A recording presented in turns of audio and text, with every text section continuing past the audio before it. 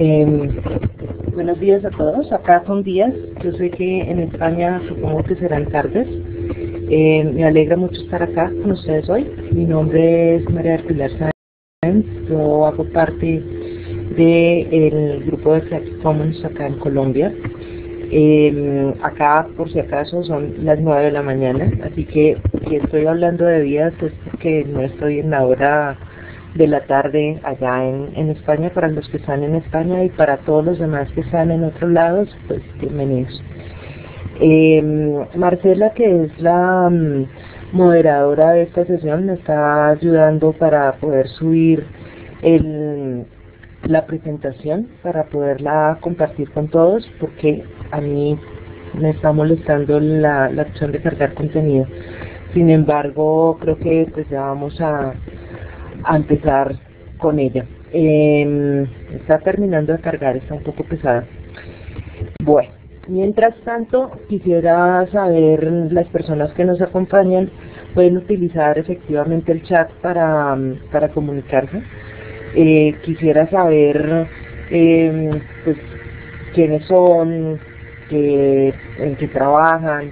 La idea de esta sesión, más que una charla, es una sesión de entrenamiento. Entonces, al final de cuentas, la idea es poder llegar a tener ejemplos que podamos utilizar entre todos para ampliar nuestro rango de opciones posibles para la utilización de recursos educativos. Eh, un poco mientras llegan los demás y antes de que si quieren ir empezando a escribir en sus chats eh, como cuál es su cuál es su principal interés y qué es lo que hacen y que nos compartan un poco sobre quiénes son los que estamos acá. Yo les voy contando un poco sobre lo que yo he hecho y, quién soy. Eh, ya les decía que mi nombre es María Pilar.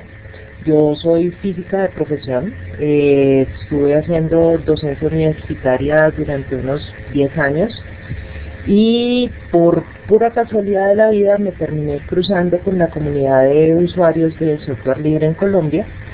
Y a partir de ese cruce empecé a preguntarme sobre la necesidad de tener efectivamente recursos en lo tecnológico que apoyaran lo educativo y que pudieran ser mucho más mm, libres para poderlos utilizar tanto con mis estudiantes, con otros profesores y también para empezar a hacer muchas más cosas. Eh, en esa intercepción de la idea de pensar desde lo tecnológico recursos para educación, me crucé con eh, Carolina Botero, que era la líder de Creative Commons acá en Colombia, que ahorita es líder para Latinoamérica, y con ellos empezamos a trabajar, con ella empecé a trabajar en el grupo de Creative Commons hace algunos años, hace dos años, pues tres años, y ahorita estoy trabajando con la Fundación Carisma haciendo apoyos de eh, proyectos de cultura libre.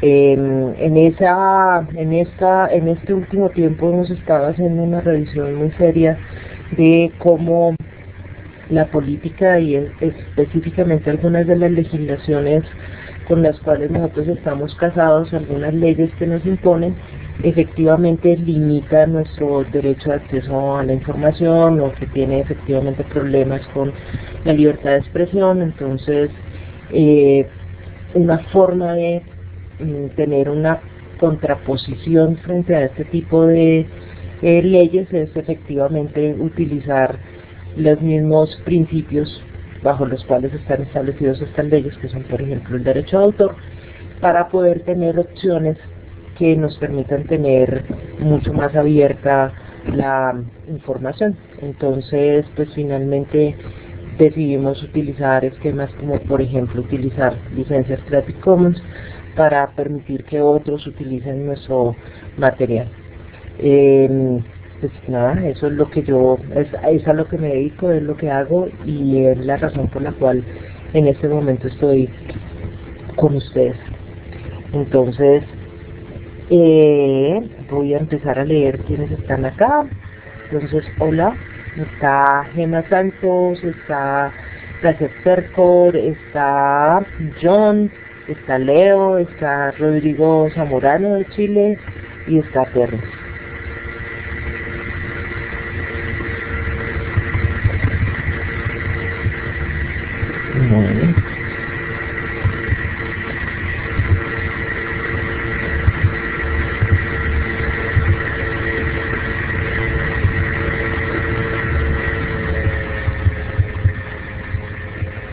Tenemos mexicanos desde España, ok, un documentalista de alguien que trabaja en la biblioteca en Cataluña, muy interesante. Listo. Bueno, entonces, eh, Marcela, yo ya te envié la presentación. Si me puedes ayudar a, a subirla, te agradecería mucho. Mientras tanto, yo creo que podemos ir empezando. Yo quisiera saber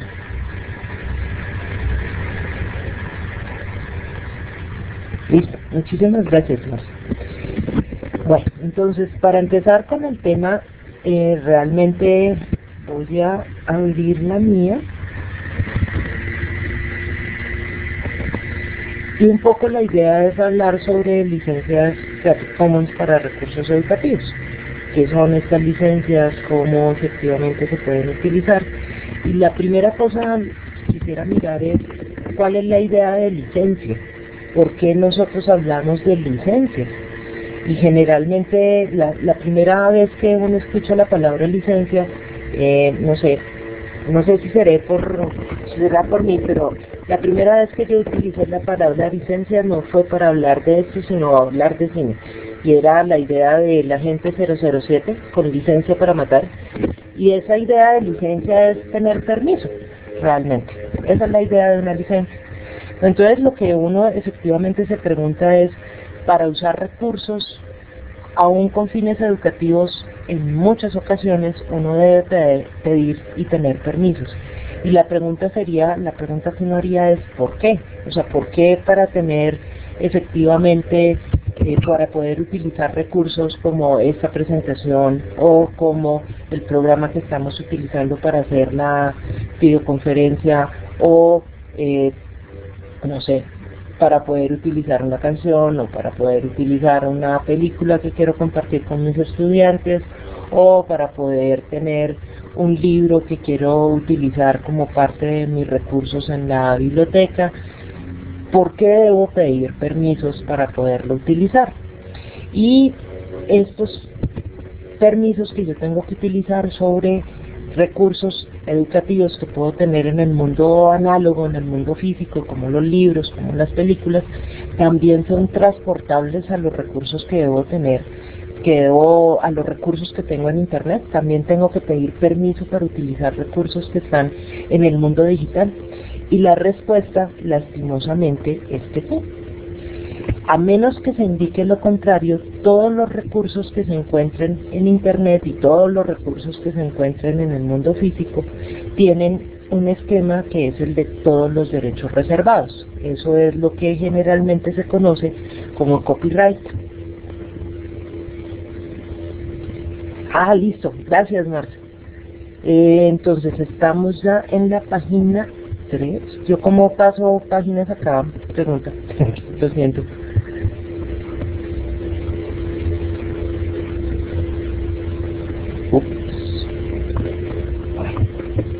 ajustar página, ya lo vi. Listo. Entonces lo que les estaba comentando era eso. A menos de que se indique lo contrario, efectivamente todos los recursos que se encuentran en Internet van a tener todos los derechos reservados. ¿Y qué significa que tengan todos los derechos reservados? Pues que para efectivamente poderlos utilizar, yo siempre voy a tener que pedir permiso. ¿Por qué van a tener todos los derechos reservados? Porque efectivamente eh, toda la obra, toda nueva obra que se cree por alguien, esa persona va a ser un autor y los autores tienen efectivamente derechos. Ahora, cuando uno habla del derecho de autor, esto es para poder poner mm, un poco el contexto de en qué estamos hablando nosotros, cuál es el contexto de lo que hablamos. Entonces, pues básicamente lo que nos encontramos es con el derecho de autor. La idea del derecho de autor es reconocer que efectivamente un autor crea una obra y porque es su obra tiene derechos a explotarla, por ejemplo, económicamente, o que efectivamente pueda decir cómo otros la tienen que utilizar. Y formalmente es un derecho que se que otorga un control jurídico sobre la obra. Eso significa que es el autor quien puede decidir qué es lo que se puede o no se puede hacer con una obra. sea una obra artística, científica o literaria. Entonces efectivamente puede hacer, un autor puede tomar la decisión de que nadie utilice su material, salvo que le pidan permiso y le paguen ciertos derechos, o un autor puede decidir efectivamente que todo el mundo puede utilizar su material y que no le tengan que pagar nada por ello. Es efectivamente lo que el autor decide. Ahora, ¿qué cosas están contempladas con derechos de autor? ¿Qué tiene derecho de autor? Pues básicamente todo. Entonces tenemos libros, conferencias, música, obras de teatro, pantomimas, obras cinematográficas, audiovisuales, dibujos, pinturas. Hay muchísimas cosas que efectivamente tienen derechos de autor. Las fotografías, las ilustraciones, los mapas, el software, antologías, traducciones. ¿Por qué puse estas en particular en, en rojo? Porque estas efectivamente son obras que nosotros utilizamos cotidianamente para la enseñanza, para el proceso de enseñanza-aprendizaje. Efectivamente nosotros con nuestros estudiantes los ponemos a leer libros o efectivamente nosotros hacemos conferencias como esta o efectivamente utilizamos música, utilizamos eh, hacen obras de teatro, se pueden proyectar películas, se pueden tener dibujos o esquemas que le ayuden a uno a explicar más fácilmente cómo son ciertos procesos, uno puede utilizar fotografías, para geografía uno puede utilizar mapas. Hay una cantidad de cosas que efectivamente se pueden utilizar para educación y que son utilizadas cada día por nosotros. Entonces, el punto es que para poder utilizar todos este tipo de materiales, en principio, todos estos materiales tienen derecho de autor y si el autor no ha dado permisos para ser utilizados, entonces pues tenemos que pedir permiso. Ahora, si nosotros hablamos de la protección de los derechos, los, las obras tienen esta protección desde su creación. Efectivamente lo que se protege es la forma de la expresión y lo que uno está protegiendo es la originalidad que está materializada en la obra. Es decir, lo que uno protege es el libro en específico, o la fotografía que se tomó, no la idea sobre el libro.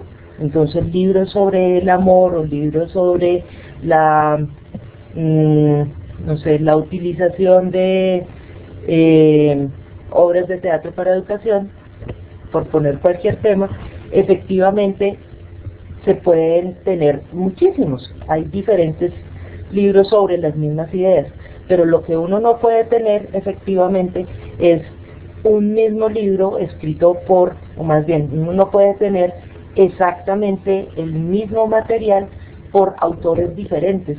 Lo que estaría pasando ahí es algo que se denomina plagio, que alguien utiliza efectivamente, eh, que alguien utiliza el texto de otra persona o alguien utiliza la idea específica y la forma como la otra persona lo expresó para hacer una, una nueva obra y eso ya no sería mm, algo que está permitido.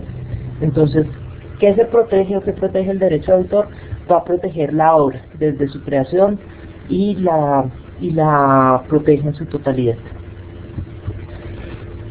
Ahora, cuando uno piensa en ese mundo está hablando de que el, autor tiene una serie de derechos. Estos derechos van a ser de dos tipos. Generalmente vamos a tener los derechos morales, que son los que corresponden efectivamente a la persona, y los derechos patrimoniales, que generalmente se le atribuyen a alguien que se denomina el titular. ¿Por qué razón hay diferencia entre el autor y el titular? Muchísimas veces los autores no tienen la capacidad o no tienen la oportunidad de poner sus obras a distribuirlas para otros o efectivamente a comercializarlas y para ello firman contratos y esos contratos, en esos contratos lo que hacen es ceder algunos de sus derechos de autor, en este caso solamente los patrimoniales, para que un tercero, que va a ser el titular, pueda efectivamente con esta obra ponerla a circular. Entonces esto es lo que hacen, por ejemplo, las disqueras o lo que hacen las editoriales que hacen un contrato con el autor, el autor le entrega el libro Por ejemplo, hablando del libro, el autor le entrega el libro a la editorial, la editorial se encarga de eh, distribuirlo y una vez que lo distribuye, la editorial le paga unas regalías al autor. Entonces, en este caso, la editorial es el titular de los derechos patrimoniales del autor. ¿Por qué es importante hacer esta diferencia entre el autor y el titular? Porque muchas veces los derechos de autor relacionados con lo que se puede hacer con algunas obras están en cabeza desde el titular y no del autor. Entonces muchísimas veces uno debería pedirle permiso para utilizar las obras al titular y no al autor. Eso querría decir que si yo quiero utilizar un pasaje de un libro de García Márquez para poder hacer una transformación de ese libro y utilizarlo como eh, y crear a partir de ese libro una obra de teatro para ponerla de ejemplo en una clase, en principio el permiso tendríamos que pedírselo a la editorial de García Márquez y no directamente a García Márquez porque él ya se dio esos derechos para que el titular los manejara. Entonces, en muchos casos es el titular con el que uno tiene que efectivamente negociar qué permisos se tienen y qué permisos no. Cuando uno se enfrenta a este panorama de tener que pedir permiso reiterativamente por todo, uno se pregunta cómo es efectivamente el proceso creativo en el mundo real. ¿Por qué razón? Porque generalmente cuando uno va a producir una nueva obra se está basando en obras anteriores. Cuando uno va a enseñar, va a enseñar algo que ya está en muchos, en muchos casos ya está establecido. Uno va a utilizar materiales de otros para explicar su punto. Uno va a tomar ideas de los otros para poder explicitar las ideas que uno tiene. Uno efectivamente construye conocimiento a partir de conocimiento que ya existe. Entonces, y en el mundo de las artes también esto es cierto. Uno crea a partir de lo que ya existe. Entonces, cuando uno se pregunta cómo es ese proceso en el mundo real, pues lo que uno tiene realmente es una cantidad de uso y reuso. Es decir, cuando uno lo que se enfrenta es a cómo, por ejemplo, en el aula poder tomar a sus estudiantes y darles muy buenos ejemplos sobre poesía contemporánea. Lo que uno hace es buscar poetas contemporáneos y poner la poesía efectivamente en el salón para que los estudiantes puedan leerla y entenderla y sacarle nuevos usos. E incluso una de las cosas que generalmente uno hace es decirle, oiga, podría hacer, podría tomar este mismo material y repensarlo, podría usted también ser un poeta moderno, moderno, podría usted hacer una poesía y a partir de lo que ya se ha, ya se ha visto, uno podría recrearlo para tener una nueva obra. Eso significa que uno permanentemente hace efectivamente uso y reuso. Ahora, uno lo podría pensar en literatura, pero también lo podríamos estar pensando en ciencias. Entonces, ¿qué, hace uno? Digamos, yo soy física, entonces pondré algún ejemplo físico. Em, cuando uno pide que se desarrolle un proyecto de investigación para la clase, uno no espera que los proyectos de investigación tengan componentes que sean todos absolutamente nuevos, sino que efectivamente lo que se hace es mirar cuáles son ejemplos muy interesantes de utilización de ciertos principios para ponerlos en un nuevo proyecto. Pero eso no significa que todo el proyecto tenga todas sus partes absolutamente nuevas, originales y que sean todas y cada una de las ideas que están ahí, ideas que son que nunca antes habían visto la luz del sol. Efectivamente, todas las buena parte de esas ideas vendrán de ideas que se han utilizado y que uno ha encontrado antes. Entonces, realmente nuestra forma de construir conocimiento, nuestra forma de tener objetos culturales es a partir del uso y del reuso. Y eso nos lleva a plantear que necesitamos... Uy, ¿qué pasó con la presentación? Tengo páginas en blanco, Marcelo.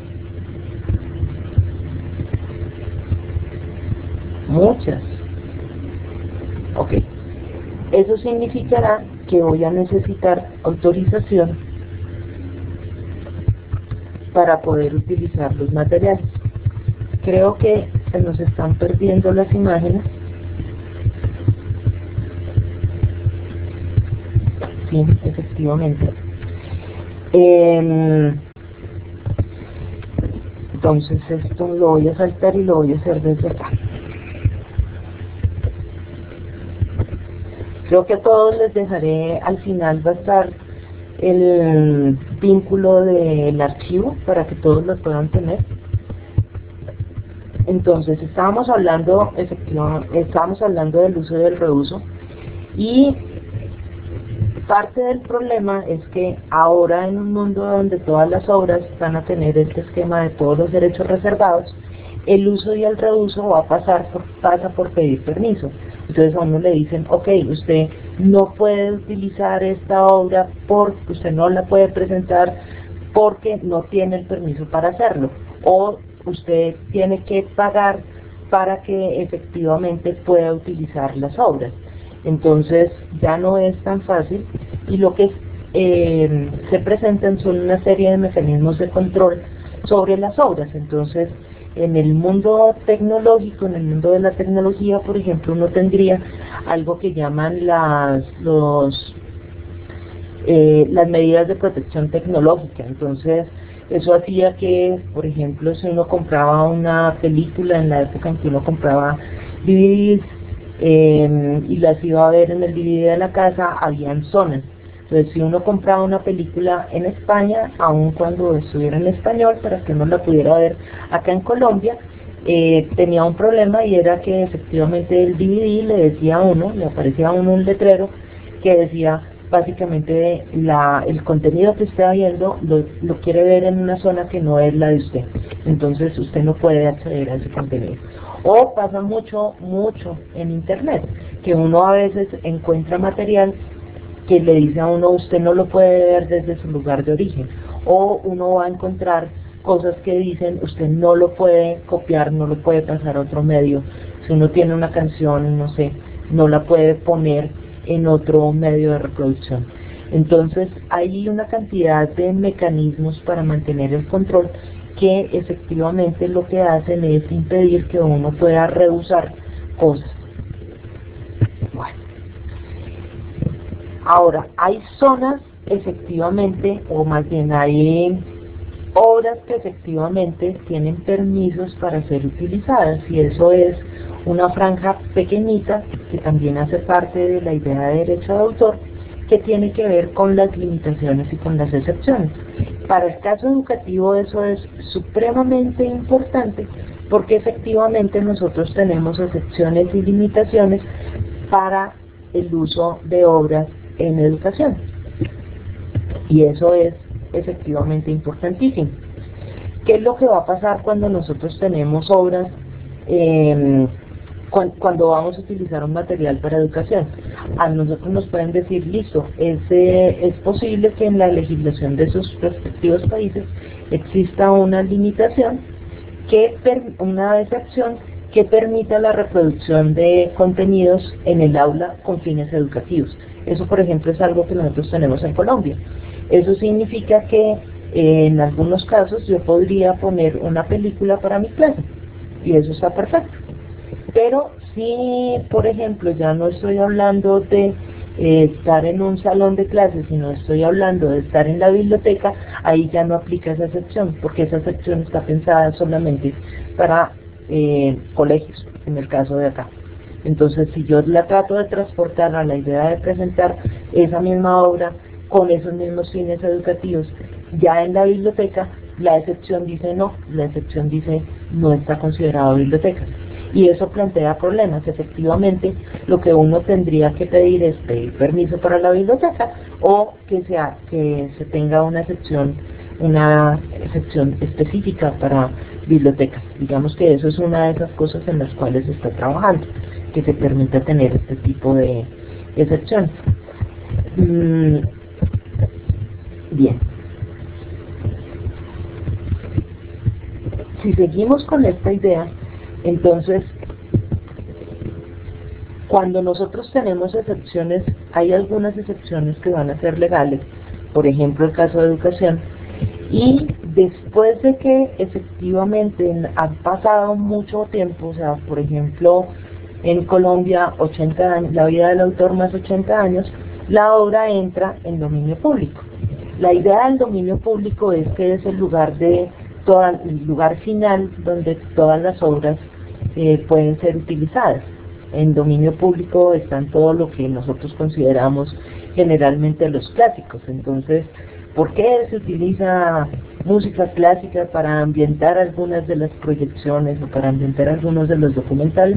Porque simplemente por estas obras no hay que, no hay que pedir permiso para poderlas tener y no hay que pagarlas efectivamente para poderlas utilizar. Marcela creo que por fin ha logrado subir los otros. Ah, ahí están. Okay. No sé qué estoy haciendo. Marce, me estás ayudando. Listo, muchas gracias.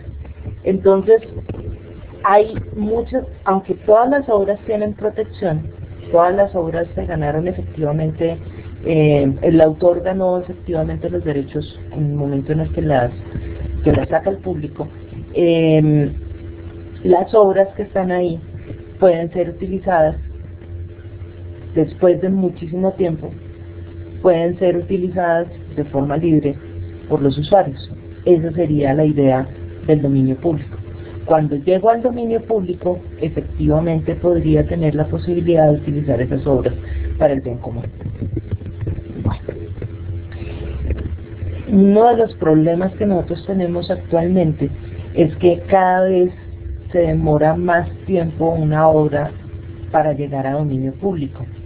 Y eso es grave porque cada vez nos quedamos con menos, con menos material con el cual trabajar. Eh, coloco un ejemplo. Todavía buena parte de las obras que nosotros podríamos utilizar de nuevo en literatura están todavía cobijadas con derechos de autor. Entonces la mayoría de nuestros autores efectivamente no los podemos utilizar de forma libre para crear nuevas obras. Si acaso ahorita en España eh, algunos de los poetas que participaron hasta el final del, del comienzo del siglo XX están siendo liberados y esto es porque eh, hasta ahora está pasando ese periodo que en el caso de España hasta donde creo son 70 años o sea, la vida del autor más 70 años para que las obras queden en dominio público. Bueno.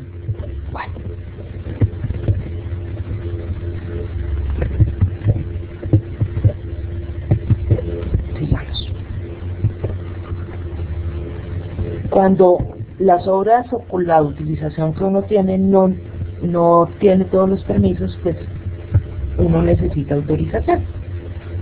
Y cuando uno necesita autorización, el que da, ah, aquí está, efectivamente, lo que les estaba diciendo del dominio público.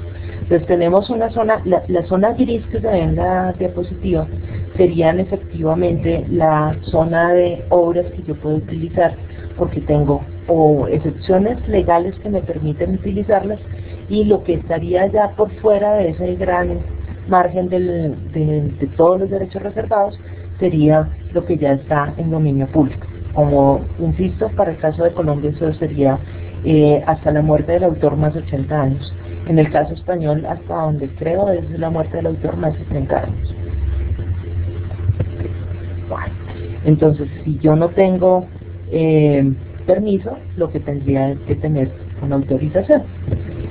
Y aquí empezamos a competir ya con lo que está pasando en el mundo real, donde tenemos los libros, donde tenemos un CD con la película o donde tenemos em, la obra escrita de teatro o donde tenemos el dibujo, a el mundo de los bits donde lo que yo tengo es simplemente información que transita por internet y donde ya no voy a tener el libro en físico, sino que voy a tener es la información del libro que puedo manipular para poderla observar en el computador o en un lector de pantalla o en un libro en formato de libro electrónico para poder tener en un Kindle o cualquier era otro de estos dispositivos. Entonces, una cosa es el mundo de los átomos y otra cosa va a ser este mundo de los bits. En el mundo de los átomos hay una peculiaridad y es que efectivamente las obras son finitas. El número de libros que se pueden editar es 5.000 ejemplares, por poner cualquier número. Y esos 5.000 ejemplares, si yo requiero un 5.001, ya tendría que esperar una nueva edición. Ya no hay más. Las cosas se agotan. En cambio, en el mundo de los bits, las cosas no se agotan. Las cosas efectivamente se pueden multiplicar. Uno puede fácilmente copiar y reproducir obras en el mundo de los de los de, en el mundo de, de los bits. Esa peculiaridad de la tecnología de la copia es lo que ha permitido que, que eh, cambie la forma como nosotros vamos a distribuir las obras y cómo efectivamente logramos reproducirlas y hacer que lleguen a más. Mm, la tecnología revoluciona la forma como las obras se hacen, se distribuyen y se usan. Si uno lo quiere, eh, uno podría decir que mm, antes crear una obra y ponerla circular era mucho más difícil que ahora. Antes uno podía escribir el libro o hacer, como hagamos el ejemplo con fotografía. Yo podía tomar una fotografía, pero para hacer que otros tuvieran esa fotografía era muchísimo más complicado, porque entonces tendría que pasar por un proceso en el cual producía la fotografía y distribuía la fotografía. Si yo era un fotógrafo más o menos reconocido, entonces tendría que ir a una editorial a que hicieran reproducción de mis fotografías y poderlas tener un canal de distribución para que estas se vendieran y compradores que efectivamente pagaran esa cadena de producción hasta que finalmente le llegara algún dinero al fotógrafo. En este momento si uno es un fotógrafo, reconocido o no, lo que podría hacer fácilmente es subir su fotografía a un medio de reproducción como Flickr y ponerla a circular con un clic. Eso hace que sea completamente diferente la cadena de producción que antes se tenía y que esa idea de que yo tenía un autor que necesitaba un productor y un distribuidor para llegar a los usuarios se rompa y en este momento el autor puede ser distribuidor, puede ser productor y también es usuario. Entonces pasamos cada vez más a romper esa cadena general de producción por una nueva donde lo que tenemos es prosumidores. Autores que también son usuarios, que también son productores. Entonces, pueden distribuir, podemos en este momento distribuir, podemos en este momento poner a circular lo que nosotros hacemos de una forma muchísimo más sencilla. Cuando pensamos esto, em, lo que observamos es que el medio tradicional que teníamos, los medios tradicionales que teníamos de pensar cómo se hacían las distribuciones cambian y en estos momentos lo que tenemos son muy buenos canales que nos permiten que las obras circulen a una tasa muchísimo más alta. Y si lo pensamos desde la idea de la educación, tener contenidos que son fácilmente reproducibles y fácilmente copiables debería ayudarnos efectivamente a que más personas los usen y que más personas los puedan tener. Entonces nos enfrentamos a cosas en el aula como que los docentes ahora tienen, llevan una presentación con una cantidad de materiales y la ponen a circular en sus estudiantes. Un poco lo que yo voy a hacer en con, con la presentación que tenemos ahora y es decirles a ustedes, esta va a estar en tal lugar, en un repositorio que va a ser público, ustedes la pueden descargar y la pueden reacondicionar, la pueden reutilizar, pueden hacer nuevas presentaciones a partir de la que yo estoy haciendo y efectivamente esa debería ser la forma como deberíamos estar enseñando. Ahora, ¿qué nos impide que eso esté pasando? Que deberíamos pedir permiso porque las obras que están en Internet también tienen todos los derechos reservados. Entonces, en este momento nosotros todos los días usamos películas, usamos fotografías, usamos música, usamos textos y las películas, las fotografías, los textos están protegidos con derechos de autor. Y como están protegidos, no los deberíamos poder utilizar. Uno los utiliza, pero los utiliza sin permiso.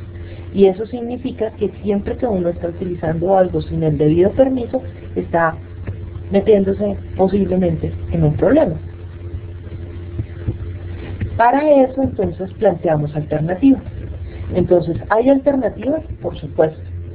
Siempre se puede escoger. Lo principal es decir que la única opción no es el modelo de todos los derechos reservados. Y como uno puede decidir qué obras utilizar, pues uno puede elegir obras que no tienen todos los derechos reservados. Y que como autor uno puede decidir que no todos los derechos eh, se quieren reservar y que se pueden permitir algunos derechos a estas obras. Y para eso, efectivamente, se puede utilizar Creative Commons. Creative Commons va a ser una alternativa a la opción de todos los derechos reservados y esta opción permite tener algunos derechos reservados. Y dentro de lo que permite es que se pueda copiar, que se pueda modificar y que se pueda reutilizar el material si se quiere, de una forma legal. Además, Creative Commons también es una herramienta para administrar nuestro propio derecho de autor. ¿Qué significa eso? Cuando uno lo que quiere es convertirse en autor y poner a circular una obra, uno como autor tiene el derecho de escoger qué derechos, con qué derechos se dan esas obras. Un poco lo que les explicaba muy al comienzo. Cuando uno es el autor y no decide nada, entonces todo queda con todos los derechos reservados. Pero cuando uno es el autor y decide, entonces hay muchos materiales que uno puede decir, ok, permito que este material sea modificado, permito que este material sea eh, traducido, permito que este material sea puesto a circulación, permito que este material sea reproducido. Los permisos que yo doy sobre el material es efectivamente la forma como yo administro mis derechos de autor. Creative Commons permite a los autores administrar esos derechos. Cuando uno tiene esa posibilidad, entonces se permite colaborar y compartir el material con otros, realmente con todo el mundo.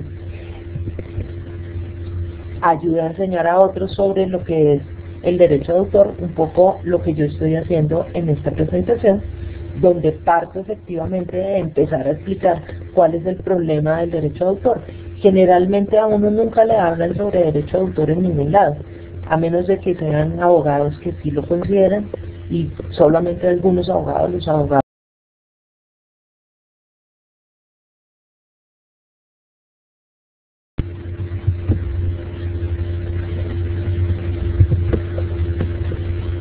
Hola chicos, hola. Creo que perdí la conexión.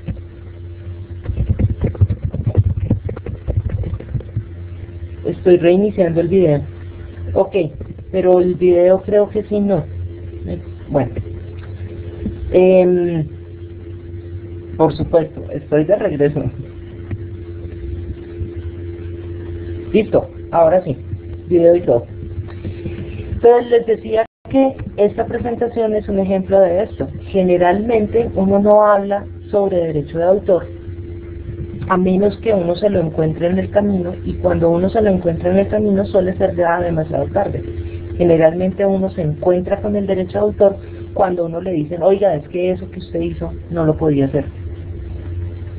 Em, Marcela, creo que tocaría es que me compartas la presentación, porque no la puedo, em, no puedo pasar a la siguiente diapositiva desde acá. O la pases a la siguiente. Eso, listo. Ya me aparecieron las opciones, ya estamos perfectos. Muchas gracias. Entonces, las licencias Creative Commons va a ser un medio, eh, una herramienta que le permite a uno gestionar sus derechos de autor y, y mirar o tener localizadas cuáles son los derechos que uno está cediendo a terceros, qué es lo que uno está permitiendo que hagan con sus obras. Entonces hay unas ciertas características y es que la primera es que es un sistema que es gratuito, que no se necesita hacer ningún tipo de registro ni depósito para utilizar estas licencias. No van a ser exclusivas, son de un ámbito mundial, se pueden utilizar en cualquier lugar del mundo y no afectan los derechos morales del autor. Los derechos morales, si ustedes se acuerdan, hace mucho rato les hablaba que habían dos tipos de derechos, que habían derechos morales y patrimoniales. Los morales son los que vinculan la mm, atribución del autor. Esto es eh, que la obra sea de fulanito, por ejemplo. la novena de Beethoven. La novena de Beethoven es la novena de Beethoven. No es la novena, hay otra novena de, de otros autores, pero la de Beethoven es de Beethoven y siempre va a tener Beethoven la autoría de esa novena sinfonía, así que uno siempre le da la atribución a Beethoven. Darle la atribución a él es su derecho moral de atribución y ese nunca se pierde. Ahora, ¿cómo funciona Creative Commons? Yo puedo tener una bellísima imagen de la Torre Eiffel, que es la que está acá a la izquierda, que tiene todos los derechos reservados y que eh, en este momento la estoy utilizando con ánimo de cita eso es una limitación y excepción legal. Entonces eh, la estoy utilizando como cita y a modo de ejemplo para poner un punto. Entonces la estoy utilizando porque hay una limitación y una excepción que me permite utilizarla, pero no podría intervenirla, no podría cambiarle los tonos, no podría eh, hacer que el amarillo, que las sombras sean más bonitas, no podría modificarla porque para eso no tengo permisos.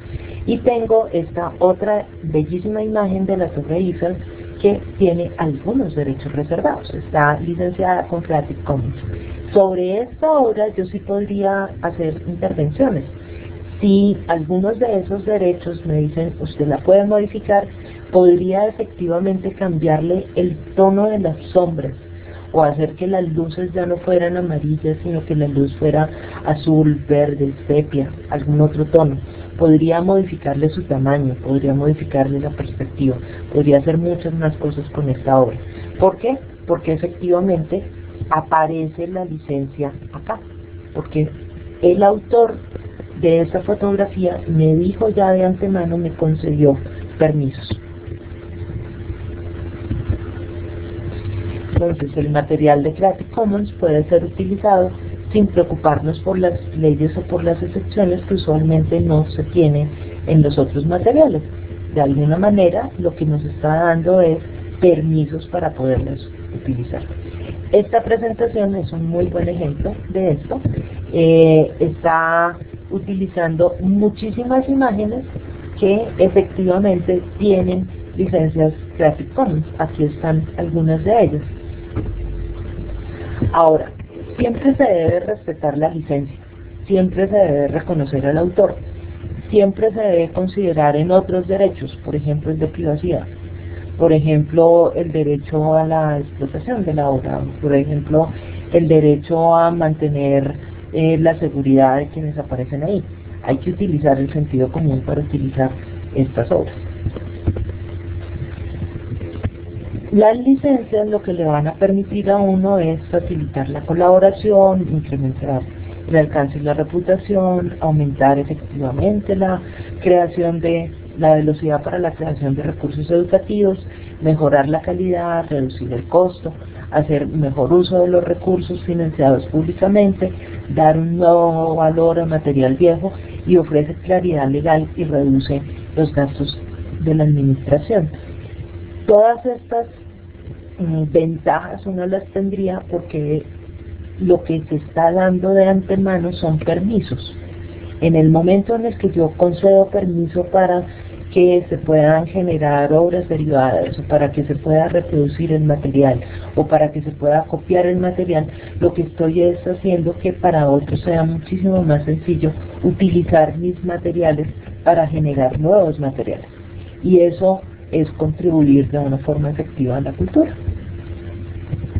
Esta presentación de nuevo es un buen ejemplo de eso. Uno, yo encontramos, hay una persona que encontró la presentación, le agregó algunas diapositivas, se utilizaron unas como estaban, se modificaron unas, se agregaron otras nuevas y queda una nueva presentación cada vez.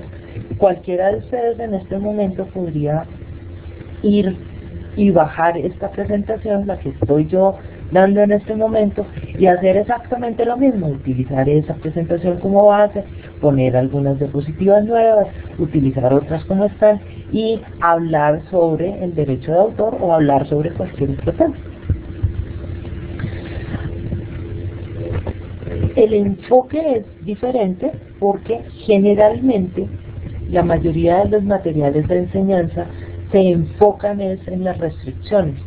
Generalmente a uno le dicen es lo que uno no puede hacer, no lo que puede hacer.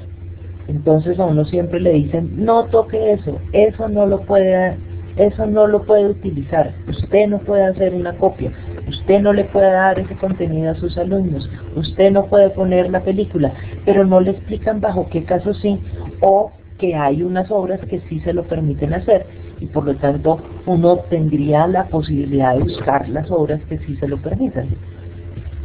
Entonces, cuando a uno siempre le dan la lección de lo que no puede hacer, pues uno tiende a ignorar esas lecciones porque uno lo que le interesa es hacer. Las licencias de Creative Commons generalmente lo que hacen es enseñar lo que se puede hacer y ponerlo de forma explícita. Cuando uno pone las cosas de forma explícita, le está diciendo a los otros lo que sí puede hacer. Y cuando es explícito lo que sí se puede hacer, pues es muchísimo más fácil hacer. Entonces, licenciar con licencias Creative Commons promueve que más personas piensen sobre sus decisiones en materia de derecho de autor, cómo quieren que su material sea utilizado por otros. Y eso es efectivamente buena parte de lo que he estado tratando de hacer en esta charla, que ustedes vean que hay posibilidades dentro de esa utilización de obras, que efectivamente tenemos limitaciones, excepciones que nos ayudan, pero que aún como autores nosotros podríamos ir mucho más allá y decir claramente cuáles son los permisos que damos a las obras que ponemos a circular en el mundo, o que más allá de esto nosotros podemos buscar las obras que tienen los permisos concedidos para que nosotros los podamos utilizar.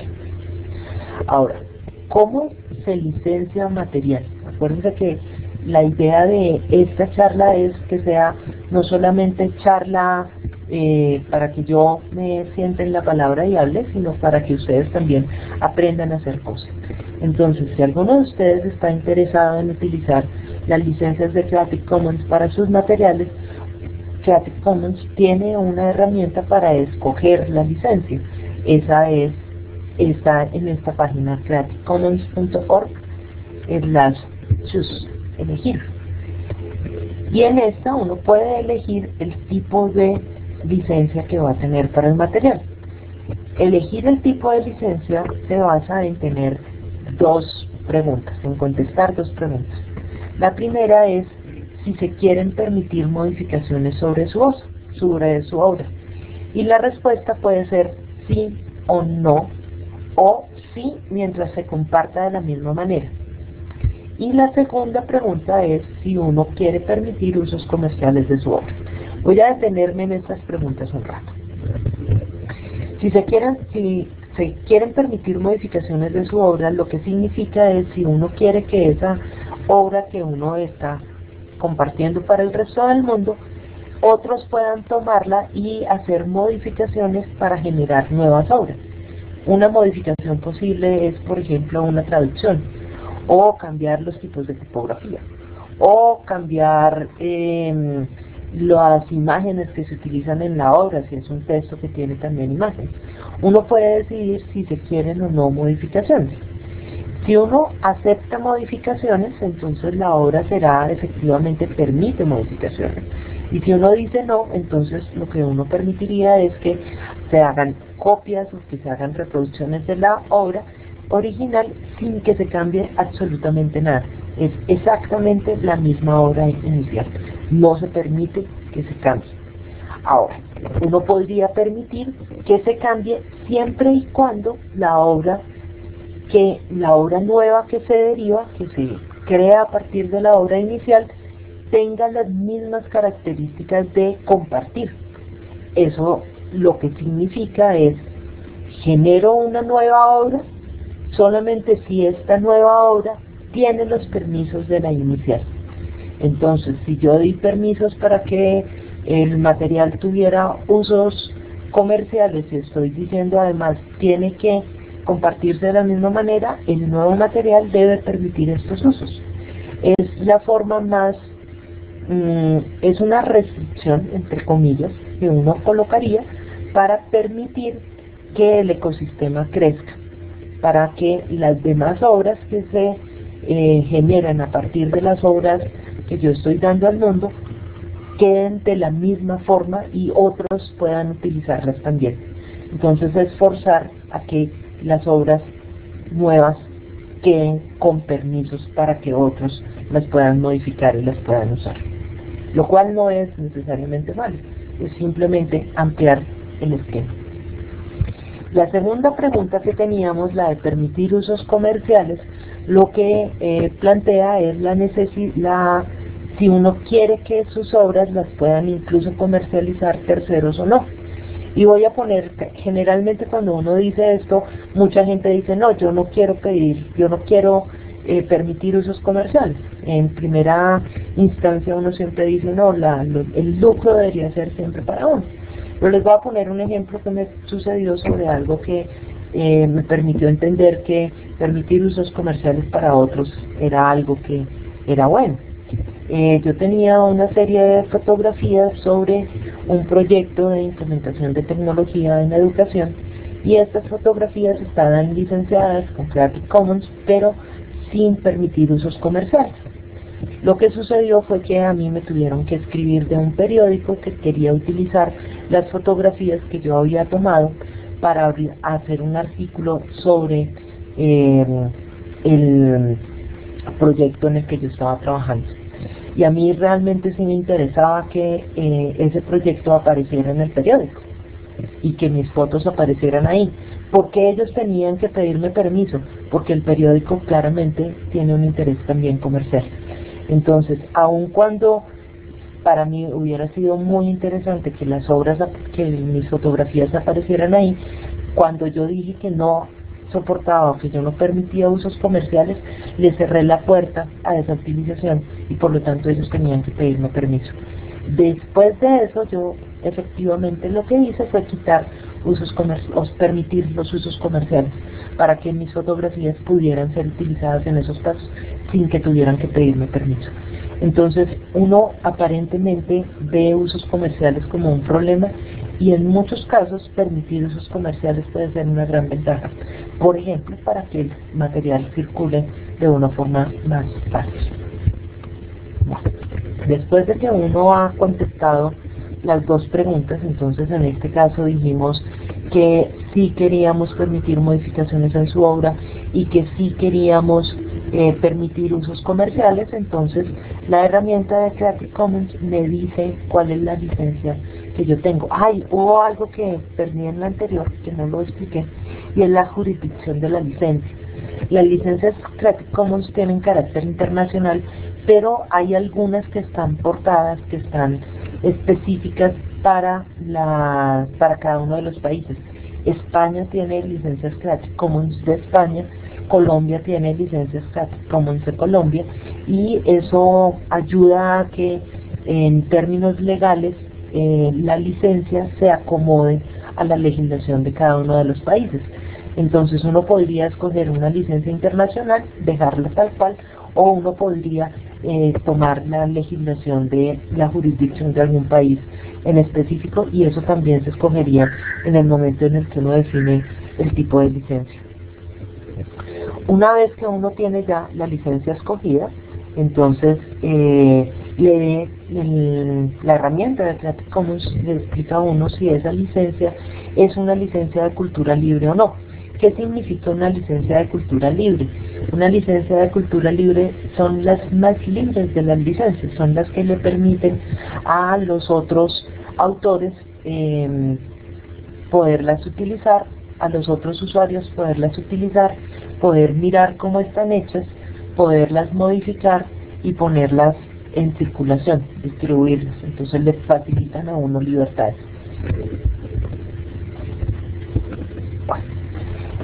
Una vez que uno ya tiene la licencia escogida, le puede dar más información para que estén dentro de los metadatos de, em, de la obra. ¿Qué son los metadatos? Los metadatos es información adicional que le ayuda a que fácilmente los buscadores o si uno mira las propiedades del objeto le digan esa información adicional. En este caso, lo que nosotros vamos a generar al utilizar una licencia Creative Commons es un código en HTML, en el lenguaje de la web, que se le puede adicionar a los sitios web donde están las donde están los recursos que uno va a utilizar, donde están los libros, si son libros digitales, o las fotografías, si son fotografías digitales, o las páginas web, o lo que sea. Entonces, este, esta información adicional está agregada al código HTML como un metadato y los buscadores las pueden fácilmente recuperar. Eso es lo que le permite a uno cuando utiliza, eh, por ejemplo, Google para hacer una búsqueda de imágenes sobre eh, arte contemporáneo en Honduras, eh, que uno pueda seleccionar la opción de búsqueda de materiales licenciados con Creative Commons y que las encuentre. Entonces, tenerle datos adicionales es algo muy bueno. Eh, uno puede colocar el título de la obra, a quién se le atribuye esa obra, es, esto sería el autor. Mm, si uno puede poner una URL, una dirección del autor, por ejemplo, de un blog, eh, la colocaría, si uno puede tener una URL a la fuente de la obra que le permite la descarga de la obra, también la colocaría. Si uno tiene algún aviso adicional sobre la obra, eh, se colocaría el formato, si es un texto, si es una imagen, si es un audio, si es un video y eh, la marca de licencia, que es la que uno finalmente utiliza. Y a partir de los datos que uno colocó, lo que uno obtiene es un código HTML, que es este cono, este código que aparece acá abajo, que uno copia y pega en el sitio donde deja la obra. Cuando uno lo pega, lo que aparece es la forma de lo que está acá arriba. Aparece la forma de la licencia, el tipo de licencia que uno está utilizando y eh, los vínculos a la licencia y al, al tipo de licencia específica. Si uno pusiera más información, la demás información también aparece en forma de vínculos. Y esa sería la forma de utilizarlo. ¿Cuáles licencias eh, están en este momento en funcionamiento? Hay seis licencias de Creative Commons. La primera es la de atribución. En la atribución simplemente es, yo digo quién debe ser el, yo siempre se, siempre se debe citar al autor, entonces esta es la licencia de atribución. Hay la otra licencia es la atribución compartir igual, que es la que tiene la opción de que las obras derivadas sean también obras que tengan esta misma licencia. Atribución no comercial es cuando uno eh, la deja para que no hayan, explícitamente no hayan usos comerciales. Atribución sin obras derivadas es eh, que no se le pueda cambiar ni una coma al material, eso quiere decir que las obras no se pueden modificar. Atribución no comercial, compartir igual es cuando no se permiten usos comerciales y además eh, se requiere que las obras derivadas sean iguales a la obra, que tengan la misma licencia de la obra inicial. Y atribución no comercial sin derivadas sería la más restrictiva de las licencias donde eh, no se permiten usos comerciales y no se permiten generar nuevas obras, solamente la obra inicial. Esas serían las seis licencias. Adicionalmente, Creative Commons tiene la posibilidad de poner las obras directamente en eh, dominio público y es la licencia CC0, que no está acá, que es eh, dejo mis obras ya en dominio público, con todas las consecuencias que esto Bien. Y esto ya es la final, acá están los datos míos de la presentación y lo que yo les decía, esta presentación está licenciada siendo coherentes con Creative Commons eh, atribución compartir igual, o sea, cualquier otro material. Si ustedes en algún momento quieren utilizar esta presentación como base para hacer nuevas presentaciones, esa nueva presentación que tendrían que, que ustedes podrían hacer, tendrían que hacerla con esta misma licencia. Eh, pueden descargar la versión, la versión no editable de esta dirección y la versión editable para que puedan hacer sus modificaciones propias de esta dirección acá abajo. Y hasta aquí la parte de información. Ahora vamos a arrancar con la parte de preguntas y con la parte de taller. Entonces, lo primero que yo quisiera es em, ver qué preguntas han surgido a partir de esta presentación y eh, que las exploremos entre todos y luego de las preguntas eh, podemos ahondar en algunos aspectos ya mirando la herramienta específica o mirando ejemplos específicos de utilización de la licencia. Entonces les dejo la palabra, les dejo el chat y demás a ustedes.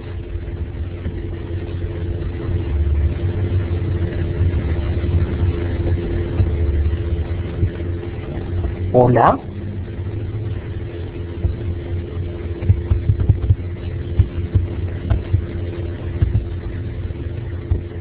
¿No hay preguntas?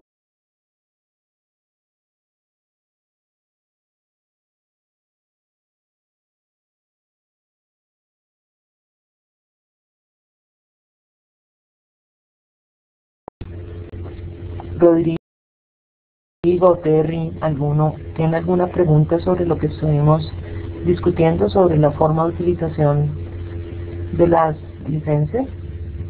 Para hablar en la parte Mm, izquierda hay un botón que dice hablar o talk eh, que pueden utilizar para hablar y comentarnos sus preguntas o sus inquietudes al respecto.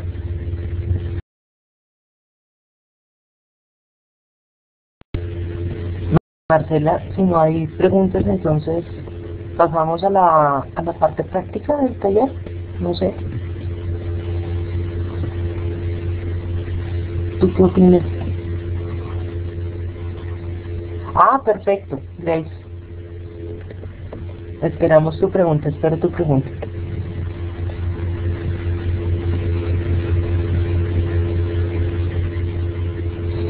Sí, esa es una muy buena pregunta, Grace. Si es posible colocar una licencia en un portal. Eh, sí. Em, uno de los ejemplos que quería compartirles bueno, hay, hay varios ejemplos que les quería compartir. Mm.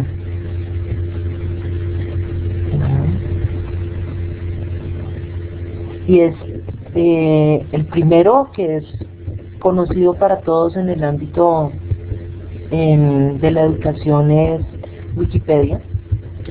Wikipedia funciona, o, funciona en una muy buena medida, porque todo el contenido que ellos tienen está licenciado con Creative Commons. Entonces, este es un caso donde uno a toda la a todo el portal eh, le pone una licencia. Entonces, si ustedes quieren entrar a la página de Wikipedia, en la parte de abajo dice, el texto está disponible bajo licencia Creative Commons Atribución Compartir Igual 3.0 podrían ser aplicables cláusulas adicionales. Léanse los términos de uso para más información.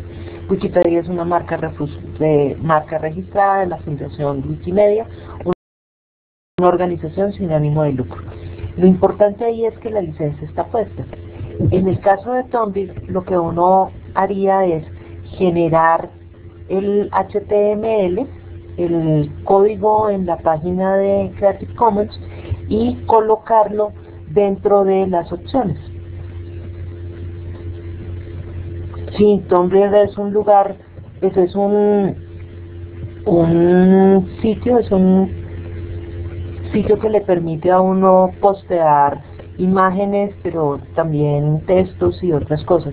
Y efectivamente uno podría utilizar las licencias para todo el contenido y lo que haría es agregar el material. Entonces, en ese caso, cuando tú vas a escoger la licencia, lo que dices es, eh, lo, la vinculas con la dirección de tu Tumblr, con la dirección en la cual está, en, en la cual vas a publicar. Em, y el código lo colocas dentro del about o lo colocas dentro de las propiedades que tiene tu blog y funciona igual. Igualmente que uno lo puede poner en Tumblr, uno también lo podría utilizar para otros sitios de blogs, como por ejemplo WordPress o por ejemplo Blogger, que son los, los blogs, los sitios de blogs más reconocidos o que generalmente utilizan más. Eh, para los tres casos uno podría poner la licencia y eh, aparece como todo el contenido licenciado en este sitio está con una licencia Creative Commons.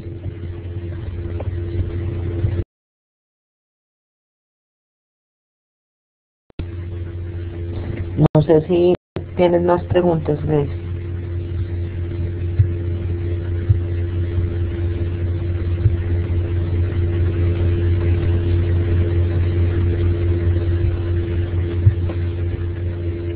No sé si Rodrigo, o Terry o Leo tengan preguntas. Mm, Leo se fue.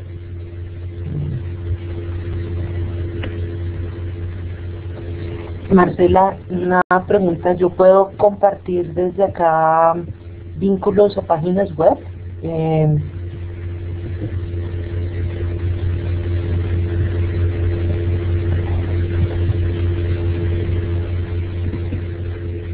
por el chat. Ah, ok, perfecto. Entonces, mm, como les estaba diciendo, algunos de los ejemplos de uso de licencias Creative Commons, Wikipedia, les estoy poniendo la versión en español. En la parte de abajo de Wikipedia, lo que les leía, está la, la licencia. Eh, el otro que quería compartirles era el de. Esta es nuestra página de, Creative Commons.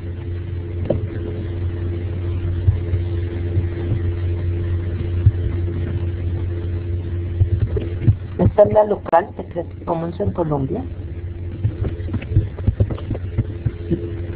Em, si ustedes ven este eh, en la plataforma misma también dice en la parte de licencia que está con una licencia de Creative Commons conocimiento compartir igual 2.5 Colombia y aquí nosotros vamos eh, colocando noticias y recursos que quedan compartidos para todo el mundo. Uh, si miran la página de Creative Commons, eh, ¿qué es esta?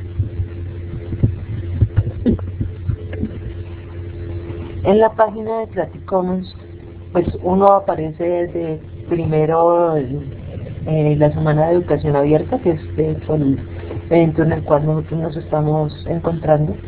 Pero lo que me interesa es en la segunda pestaña que dice licencias y que dónde está la opción para encontrar, para elegir las licencias, que choose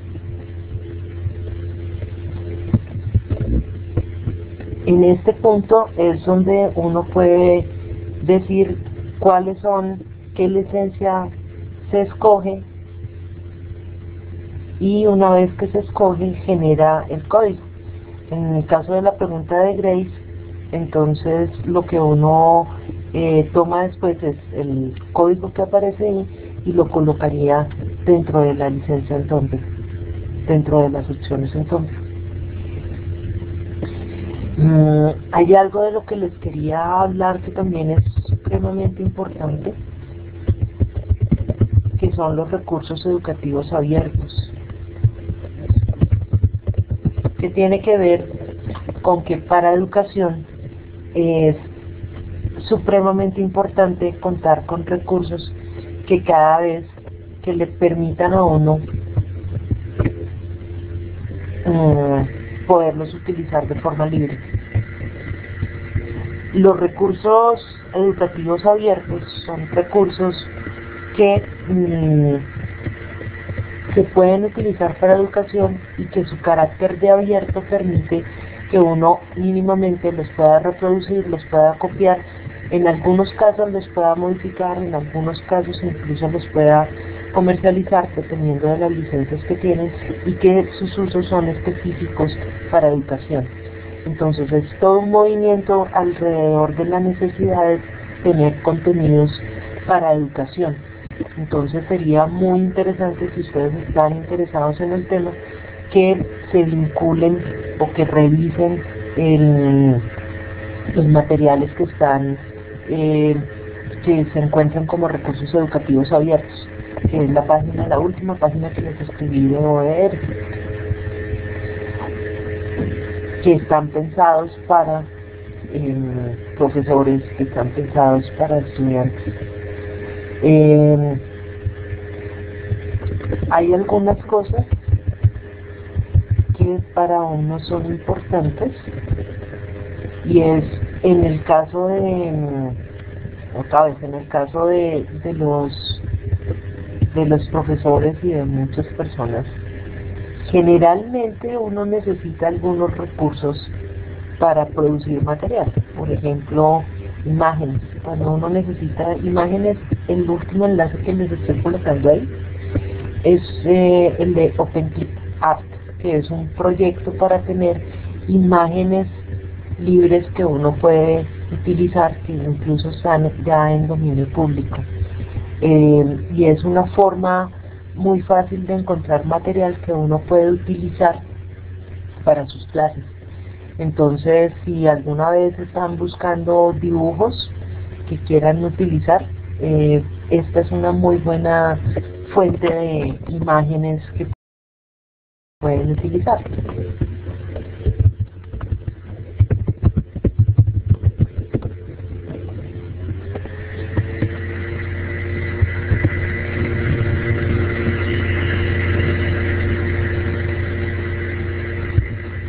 Otro de esos recursos que uno podría utilizar también para mirar imágenes, sonidos o videos es el, está dentro del proyecto de, de Wikimedia, que Wikipedia hace parte de Wikimedia, pero el Commons es un proyecto para buscar fácilmente, acceder fácilmente a imágenes, videos y sonidos. Entonces esa es otra fuente que es importante recursos en el momento en el que uno se plantea la necesidad de buscar o de acceder a algunos de estos.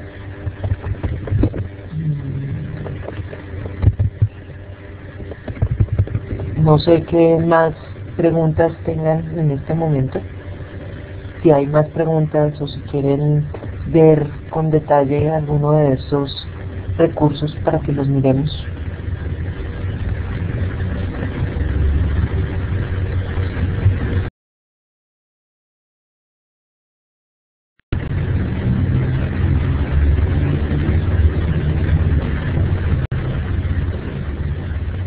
Hola Bienvenida. Ya estamos sobre el final, pero si tienes alguna pregunta sobre Creative Commons, chévere. Leo, creo que está escribiendo.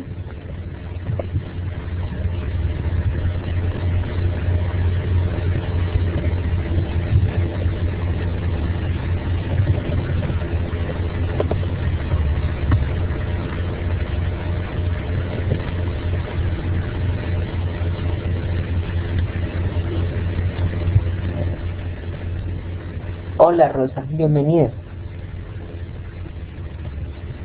No te preocupes, igual en la última diapositiva que es la que ves a tu derecha está toda la información de dónde está esta presentación y dónde la puedes bajar. Igualmente creo que ya desde la organización de la Semana de la Educación eh, abierta vas a encontrar el recurso disponible de toda la presentación.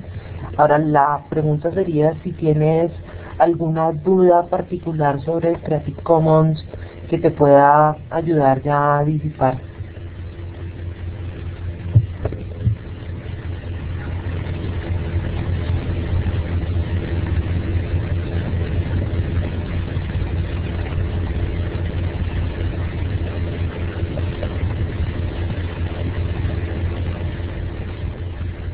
Perfecto, visita los lugares y mm, vas a encontrar muchísima más información sobre recursos ahí. Ahí es lo que les he compartido por el chat. Yo no sé si Rosa lo alcanza a mirar, que son de las páginas de Creative Commons y demás.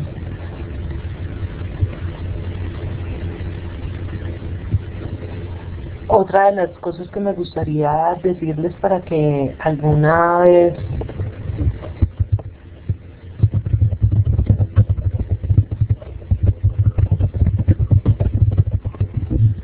eh, pudieran revisar es que cuando uno tiene las opciones de búsqueda activadas, por ejemplo, en Google, uno podría buscar material específico con licencias y eso funciona para algunos contenidos como son los de imágenes o como videos o como audio. En, YouTube en este momento también ya se habilitó la posibilidad de dejar videos eh, con licencias con licencia de Creative Commons y eso permite que hayan cada vez más materiales que uno como docente podría utilizar y reutilizar y poner en sus propios términos. Eso es supremamente importante. Entonces, la otra llamada grande es a que cada vez que busquemos materiales para nuestras clases o que busquemos materiales para em, utilizar en las bibliotecas o en los colegios o en otros lugares, tratemos de buscar materiales que tengan licencias que permitan estos usos y así tenemos menos problemas.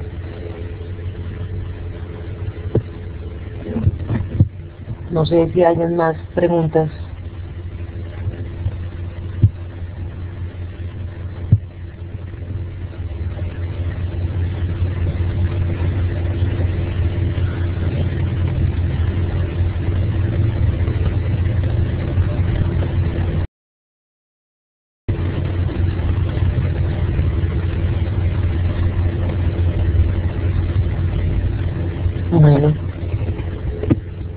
Marcela, entonces, ¿dejamos acá o cómo, qué sugieres?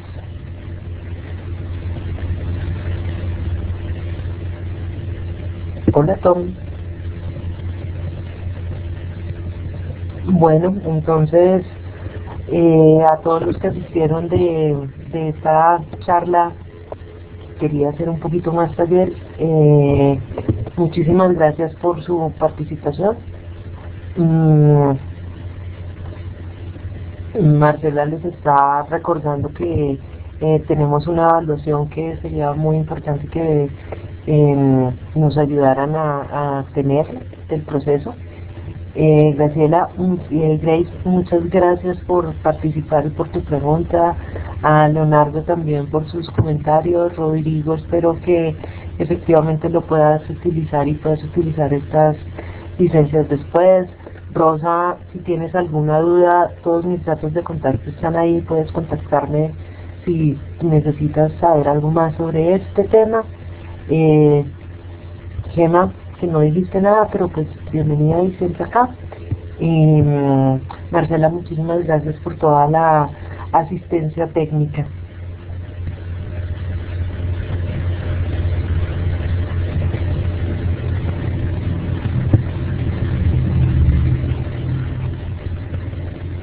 No, no te preocupes.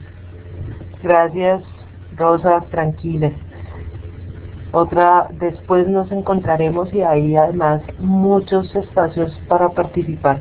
Esta semana está supremamente interesante en las posibilidades de mirar otros contenidos y de mirar eh, otros materiales y otras charlas. Entonces asiste a todo lo que puedas. Muchas gracias a todos y de nuevo Muchas gracias por participar de este espacio. Detengo la grabación.